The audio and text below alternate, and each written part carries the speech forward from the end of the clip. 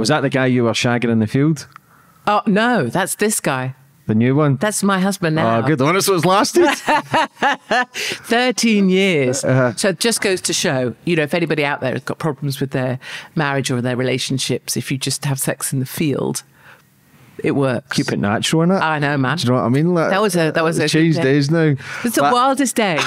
Because the, the rumor, so so the speculation, and I would allege it as well, knowing what I know about the press, is that that was set up. But the truth was, we were just at it, and we'd driven off from the station where he'd, I think, come and got me, and we were just finding a place to do that because he was still at home with his wife. But the way it was set up with the gate, and also we both looked kind of hot, made it seem really staged. But I was kind of proud of the fact that that wasn't staged, although at the time I was working for the public sector the weather people, the Met office, the people that do the weather, and I had to ring my boss. And I had, I had a very highly paid job and tell him I was going to be on the front page of the people in the morning straddling Mark. that is not a conversation.